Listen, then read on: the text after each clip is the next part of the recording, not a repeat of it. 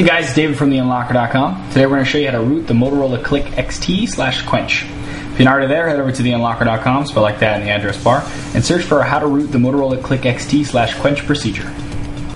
Okay, first thing you need to do is you need to install the drivers for Motorola. So we have two options there. You have the drivers for 32-bit computers and the drivers for 64-bit computers. Click on either one is uh, perfect for you.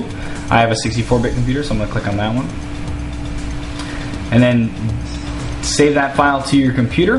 Then you're going to unzip it, uh, and you'll have a folder inside. And inside that, you'll have a program to install the drivers. Double click it, and it should install the drivers. Now on your phone, go to Menu, Settings, Applications, Development, and make sure that USB debugging is checked on. It's got that green arrow in it, green check. So long as it has that, you can go back to the home screen and continue. Okay, next you need to do our how to set up ADB procedure. Just click on the link we have right there to get started on that. Um, just do it until you can see the device's serial number. So basically, just all of section one, not step one, section one, um, Roman numeral one. Once you're done there, you can uh, come back to this procedure. So long as you see your phone serial number pop up at the end of step six, and then we continue. Okay, next you need to download the rooting files. So you click on the link here to download those to your computer. Okay, once you have those files, you're to right click them, click extract all, and then in here where it asks you where you want to extract it, we're to browse. We're to go compute, so you can see what I'm doing. We're to go to computer, C drive, click OK. So now it's just C in here. And click extract. Once we've done that, we're going to plug in our phone via USB.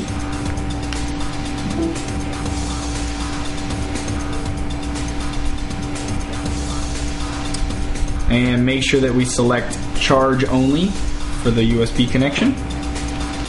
Then we're going to open a command prompt on our computer by clicking on the start menu and then in a little search box down here we're going to type in CMD and hit enter. And that should open a command prompt window. Next we're going to type the following into the command prompt. Uh, you don't have to read what I'm writing here, it is written down in the procedure. I'm just going to type exactly.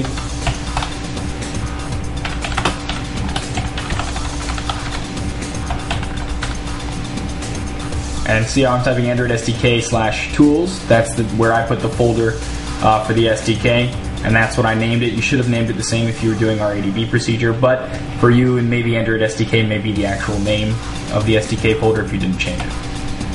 Now that we're in there, devices, make sure I can see my phone. Yep. Push C slash C colon slash super user dot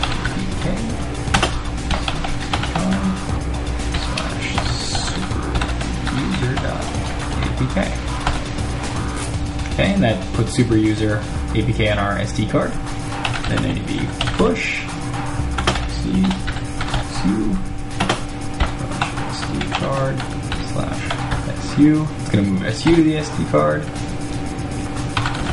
Push, C, slash, the page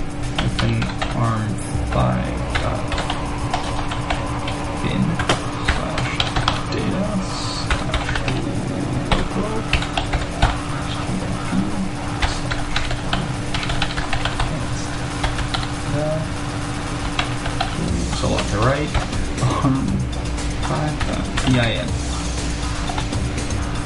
okay Okay, once we've done that, we're gonna leave the command prompt up just like it is. We're gonna leave the phone plugged in, but we're gonna download something from the market on the phone. Okay, now in the market, we're gonna search for ConnectBot.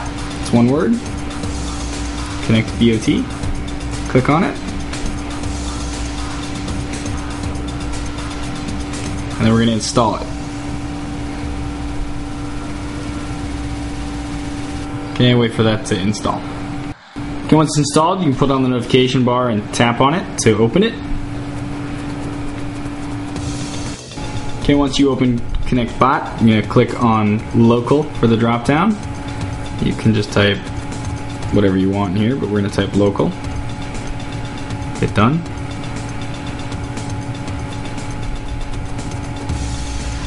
And should automatically open up into a terminal window. Now we're going to type the following into the terminal window uh, in ConnectBot. It's going to be really hard to see here, and I'm probably going to type really slow because um, of this little keyboard. So it's easier for you to just read it on the site, but here we go.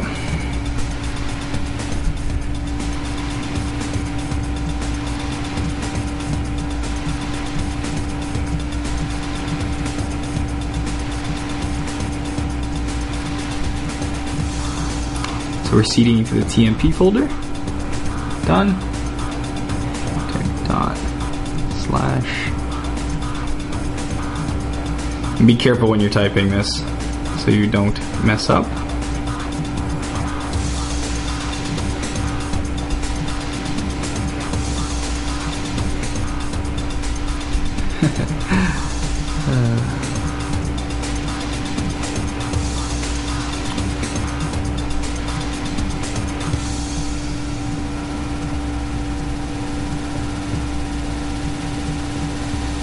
Double check to make sure you typed it in correctly. Rage Against the Cage. Enter.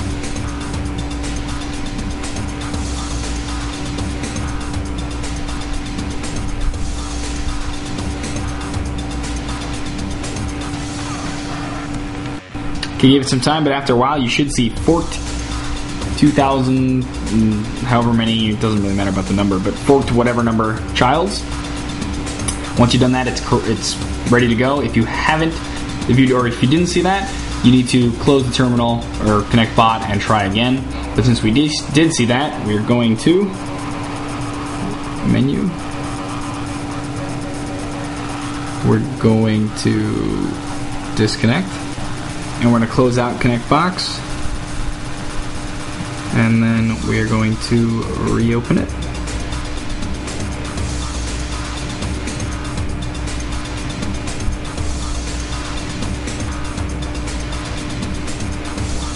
We're going to click on the local server again. And it should give us a little uh, hash symbol, a number symbol. If it didn't, if it still gave you a dollar sign, then you need to start over with the Rage Against the Cage procedure. You'll see uh, where you need to start exactly in our procedure on the uh, website. But if you did get that, you can continue. Okay, now we're going to type the following into the Connect bot Again, it's tiny, gonna type slow, so you're better off reading it off of the uh, actual site. But here we go.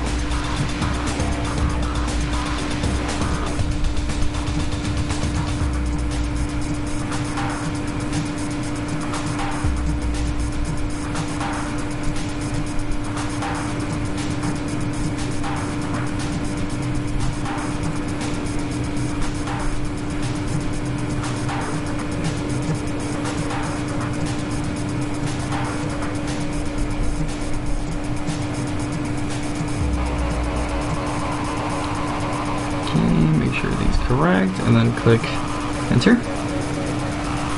And it should just give you another line with a uh, number symbol. If it did that, you're all set.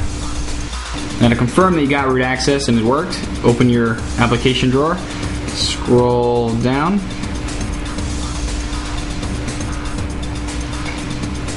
okay, and you should see the little super user symbol right here, the super user permission file. So long as you have that, you're rooted uh, and you're good to go. So now you can install things like Wi-Fi tether, etc. Um, if you want to install custom ROMs and custom recovery images and all that fun stuff, then click on the link at the very bottom of our procedure to get to the how to load a custom ROM procedure, and we'll walk you through that step by step.